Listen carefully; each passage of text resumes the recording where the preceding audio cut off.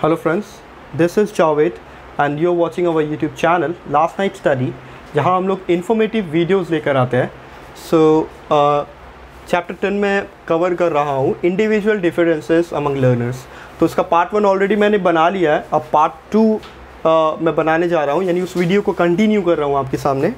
सो so, अब तक मैं बात कर रहा था कि इंडिविजुअल डिफरेंसेस के बेसिस क्या हो सकते हैं? कंसेप्ट मैंने बताया, कुछ एग्जांपल्स मैंने दिए। कंटेम्प्रेरी वर्ल्ड के हिसाब से मैंने आपको चीज़ों को बताने की कोशिश की। एंड साथ ही साथ अंडरस्टैंडिंग वाला एक फैक्टर होता है, वो चीज़ें मैंने आपको बताने की कोशिश की। Now let's talk about the other part of the individual differences जैसे कि हम इसको कह सकते हैं कि इफ़ेक्टिव पेडागोजिकल वेज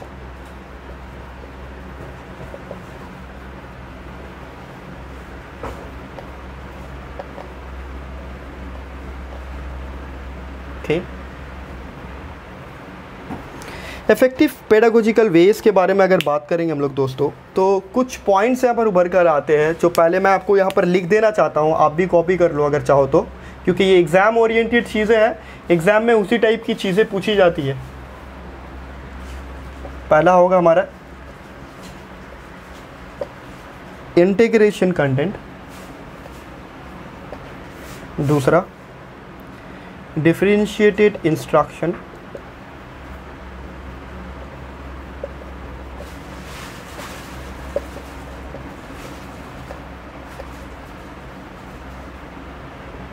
ठीक है? तीसरा होगा। Ability grouping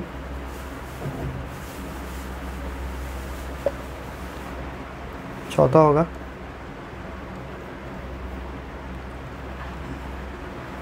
Lack of prejudices prejudices gender free perspective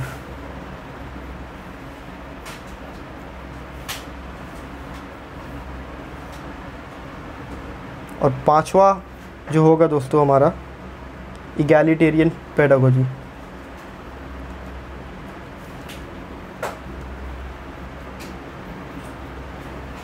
जी हाँ दोस्तों ये वो चीज़ें हैं जो मैं आपको बताने की कोशिश करूँगा जो कहीं ना कहीं इंडिविजुअल डिफरेंस में किस तरीके से उसको आ, हम लोग जो है इफ़ेक्टिव वेज में आ, एक पॉजिटिव वे में उसको यूज़ कर पाए।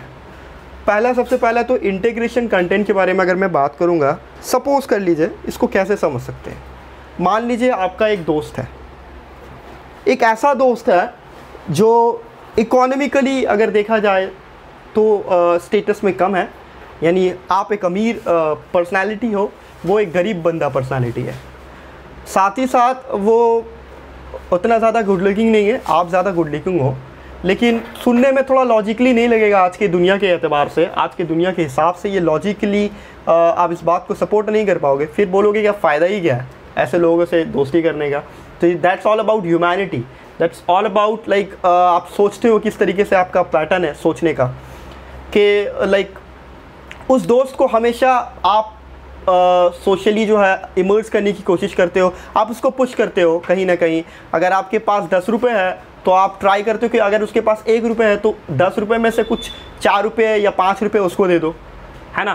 तो कहीं ना कहीं इंटीग्रेट करना यानी कमज़ोर लोग अगर चाहे अमीर मतलब आ, अगर ताकतवर लोग चाहे तो कमज़ोर लोगों को अपने तरफ़ इंटीग्रेट कर सकते हैं जोड़ सकते हैं। और इंटीग्रेशन का एक ब्रॉड सेंस है। मैंने एक एग्जांपल देने की कोशिश की आपको कि किस तरीके से जो है अपने तरफ़ आप अट्रैक्ट कर सकते हो लोगों को और उनके इंडिविजुअल जो डिफरेंस होने के बावजूद भी जो कहीं ना कहीं ये दर्शाती है, ये बताती है कि वो सोशली थोड़ा सा ज़्यादा, उनके अंदर ज़्यादा पावर नहीं है वो कैपेसिटी नहीं है, लेकिन फिर भी आप उसको अपनी तरफ़ इंटेग्रेट कर रहे हो। तो ये इफ़ेक्टिव पेडागोजिकल वे हो सकता है अपनी तरफ़ ट्रैक करने का, ताकि वो उसको भी सोशली वही राइट्स मिल पाए। उसके बाद डिफ्रेंशिएटेड इंस्ट्रक्शन बिल्कुल कुछ जगह में डिफ्रेंशिएटेड इंस्ट्रक्शन तो होना चाहिए। जैसे फॉर एग्ज़ाम्पल बहुत सारे जो कॉलेजेस होते हैं जब सारे, बहुत सारे को एडुकेशन भी होते हैं, लेकिन बहुत सारे स्कूल्स या कॉलेजेस उन्हीं बातों पर निर्धारित है जहाँ पर मान लीजिए सिर्फ़ लड़कियों की पढ़ाई ही पॉसिबल है, यानी सिर्फ़ लड़की, लड़कियों को ही पढ़ना है उस स्कूल में। तो वहाँ पर डिफ्रेंशिएटेड इंस्ट्रक्शन ही रहेगा। कि हाँ वहाँ पर लड़के नहीं पढ़ सकते, लेकिन आप उस स्कूल में जाकर बोल रहे हो, गर्ल्स स्कूल में, यहाँ पर लड़के क्यों नहीं पढ़ सकते? तो ये भाई, ये अलग टाइप की बात हो जाएगी ओके तो डिफ्रेंशिएटेड इंस्ट्रक्शन भी कहीं कहीं होता है कि मान लीजिए एक फिजिकली चैलेंज बच्चा है तो वहाँ पर फिजिकली चैलेंज बच्चा है जो सुन नहीं पाता है, जो देख नहीं पाता है तो क्या वो आपके स्कूल में पढ़ सकता है? आंसर होगा नहीं, बिल्कुल नहीं पढ़ सकता है। उसका सबसे बड़ा रीज़न ये है, क्योंकि वो उसकी, उस, उसको पढ़ाने का ढंग, तरीका बिल्कुल अलग होने वाला है, एक अलग करिकुलम है उसके लिए। इसलिए वहाँ पर डिफरेंट डिफ्रेंशिएटेड इंस्ट्रक्शन का होना भी ज़रूरी है। तो ये नेगेटिव वे में नहीं है, बल्कि एक पॉजिटिव वे में है। उसका, उसकी भी भलाई है और जो उनके साथ रहेंगे, उनकी भी भलाई है। तीसरा होता है ability group grouping ability grouping कहने का मतलब है, हम में से कुछ हमारे फ्रेंड्स ऐसे होते हैं, जिनकी अबिलिटी स्पोर्ट्स में ज़्यादा होती है, जिनकी अबिलिटी कल्चरल प्रोग्राम्स और एक्स्ट्रा करिकुलम एक्टिविटीज़ में ज़्यादा होती है। कुछ लोग एडुकेशन और रीजनिंग मैथमेटिक्स में बहुत ज़्यादा तेज़ होते हैं तो उनको उसी हिसाब से जो है असेंडिंग ऑर्डर में कहीं ना कहीं उनको अरेंज करना ज़रूरी होता है। जी हाँ दोस्तों, जैसी उनकी एबिलिटी उसी हिसाब से उनको ग्रुप वाइज बांटना चाहिए। बिल्कुल सही है ये। लेकिन साथ ही साथ lack of prejudice gender free perspective के बारे में भी हम लोगों को बताना चाहिए। ऐसा नहीं है कि एक बच्चा, अब मैंने उनको बोल दिया कि मान लीजिए कि दो फ्रेंड्स हैं। एक फ्रेंड पढ़ने में कमज़ोर, एक फ्रेंड में पढ़ने में बहुत ज़्यादा स्ट्रॉन्ग है। तो वो फ्रेंड जो ज़्यादा कमज़ोर है, वो तो ज़ाहिर सी बात है हेल्प मांगेगा। जो ज़्यादा ताकतवर है तो ताकतवर जो बंदा है वो कहीं ना कहीं एरोगेंस होता है। ज़्यादातर एरोगेंस होता है। मैं सबकी बात नहीं कर रहा हूँ। जो लोगों में एरोगेंस आया था पावर आने के बाद सत्ता आने के बाद तो पावर कहीं ना कहीं वो किस तरीके से डिफाइन करेगा कि मैं सुपीरियर हूँ तुम इन्फीरियर हो। तो कहीं ना कहीं तुम लड़की हो मैं लड़का हूँ। तुम गरीब हो मैं अमीर हूँ। तो ये जो कंस्ट्रक्टिव वे में जिन पॉलिसीज़ एंड प्रिंसिपल्स को आ, आ, बताया गया है जिस तरीके से जो प्रिजुडिस है जिसमें जिसमें इविल बिड इविल फैक्टर बन सकता है वो, वहाँ पर उन चीज़ों को हम लोग फ्री पर्सपेक्टिव दें तो ज़्यादा बेहतर होगा। इसलिए अबिलिटी ग्रुपिंग में जैसा कि मैंने बताया कि ज़्यादा अच्छा पढ़ने वाला, थोड़ा कम अच्छा पढ़ने वाला। तो इसका मतलब ये नहीं कि वो सुपीरियर है, ये इन्फीरियर है। नहीं, उस तरीके से अगर समझाएँगे तो फिर वो मामला कहीं और जाने वाला है दोस्तों। तो फिर वो इगैलिटेरियन सोसाइटी और पेडागोजी नहीं रहेगा इगैलिटेरियन कहने का मतलब ही है to divide resources among different individuals कहीं ना कहीं इगैलिटेरियन सोसाइटी अगर कहेंगे तो रिसोर्सेज को बराबर बराबर लोगों में बांटना, चाहे वो किसी भी कास्ट के हो, किसी भी कम्युनिटी को हो, किसी भी रिलीजन या सेक्स के हो। जी हाँ दोस्तों, हर किसी को बराबर का हक मिलना चाहिए। ये होता है इगैली इगैलिटेरियन पेडागोजी और हर किसी को एक ख़ास करके बच्चों के अंदर इन सब टाइप की चीज़ों को जो लोगों में प्रेजुडिस और ज़्यादा बढ़ा दे या एरोगेंस और ज़्यादा बढ़ा दे। हाँ प्राउड वाला फैक्टर ठीक है, लेकिन एरोगेंस वाला फैक्टर बहुत ज़्यादा गलत हो जाता है। तो बच्चों को इन चीज़ों को जो है प्री लेवल पे यानी प्री चाइल्डहुड एज में कहीं ना कहीं इन चीज़ों के बारे में एडुकेशन जो है, अच्छे तरीके से देना चाहिए।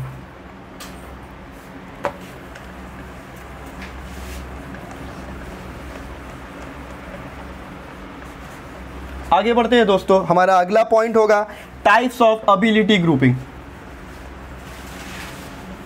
okay now अभी अभी अबिलिटी ग्रुपिंग के बारे में हमने जस्ट अभी थोड़ा सा डिस्कस किया था। तो अबिलिटी ग्रुपिंग को किस कितने हिस्सों में हम लोग क्लासीफाई कर सकते हैं? टाइप्स ऑफ़ अबिलिटी ग्रुपिंग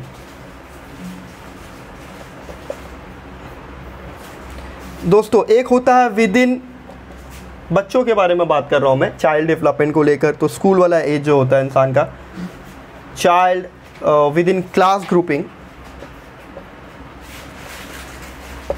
जो सिस्टम होता है, वो होता है होमोजेनस स्किल्स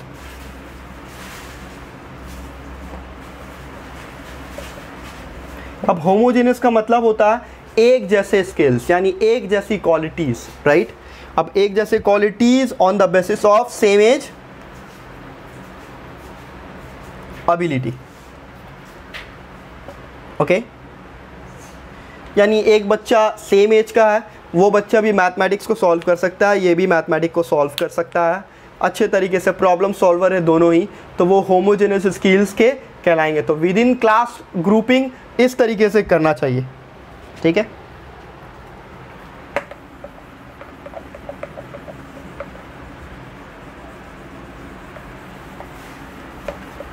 उसके बाद जो पॉइंट आता है दोस्तों टाइप्स ऑफ़ नेक्स्ट होता है हमारा टाइप्स ऑफ़ एबिलिटी ग्रुपिंग में बिटवीन क्लास ग्रुपिंग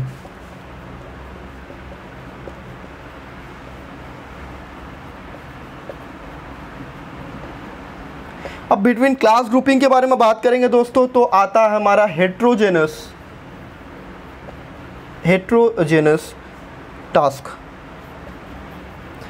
ये सर्कुलर टास्क होता है बेसिकली तो बिटवीन क्लास ग्रुपिंग में जो फंडा होता है हेट्रोजेनस टास्क कहने का मतलब है अलग अलग क्वालिटीज़ को जो डिफाइन करता है। एक बंदा जो स्विमिंग जानता है और एक बंदा जो फुटबॉल खेलता है।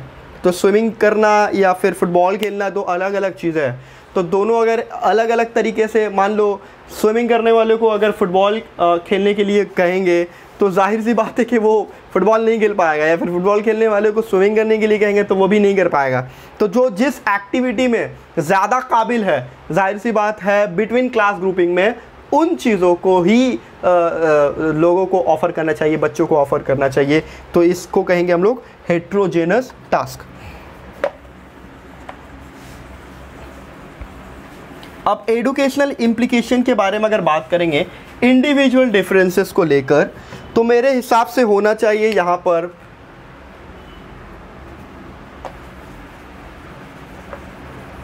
देखिए, कुछ चीज़ें एडुकेशनल जो इम्प्लीकेशंस होती है, वो नीड के हिसाब से ही आती है। ये बात हमेशा आपको याद रखना है। जो थ्योरीज होती है, वो नीड के हिसाब से होती है। अगर नीड ना हो तो उन चीज़ों का होना बेकार होता। है तो यहाँ एडुकेशनल इम्प्लीकेशन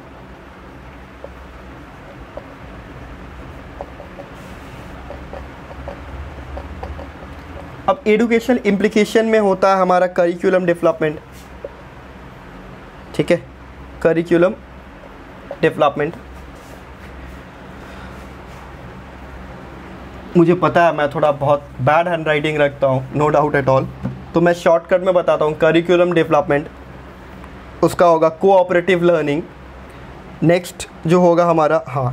तो करिकुलम डेवलपमेंट कहने का मतलब है एडुकेशनल नीड के हिसाब से हर ज़माने का एक अलग नीड रहता है तो उस हिसाब से करिकुलम को भी चेंज करना पड़ता है डिज़ाइन करना पड़ता है कि बच्चों को क्या नीड है राइट आज से 10 साल पहले या 15 साल पहले इस टाइप की कोई नए कंसेप्ट नहीं थे, जैसे आजकल स्कूल्स में, खास करके गर्ल्स स्कूल में सैनिटरी पैड्स के बारे में भी स्टूडेंट्स ने व्यू को प्रोपोगेट किया है कहीं ना कहीं और इसको लेकर जो है अवेयरनेस के लिए डिमॉन्स्ट्रेशन के लिए बहुत सारे कैंपेन्स को सामने रखा गया कि हाउ मतलब सैनिटरी पैड्स कितने ज़्यादा ज़रूरी होते हैं स्कूल्स में, वगैरह वगैरह, उन लड़कियों के लिए। लेकिन ये कंसेप्ट पहले नहीं था।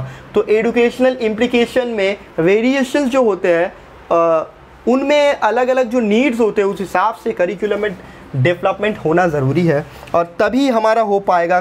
कोऑपरेटिव लर्निंग कहने का मतलब है स्टूडेंट्स के हिसाब से उनके साथ कोऑपरेट करके उनको पढ़ाया जाए वगैरह वगैरह। और इस तरीके से let them realise their full potential right so till then individual differences के बारे में एग्ज़ाम एग्ज़ाम ओरिएंटेड चीज़ें मैंने आप आपके सामने रखी है। सो so, अगर आपको वीडियो पसंद आया है so like and subscribe thank you very much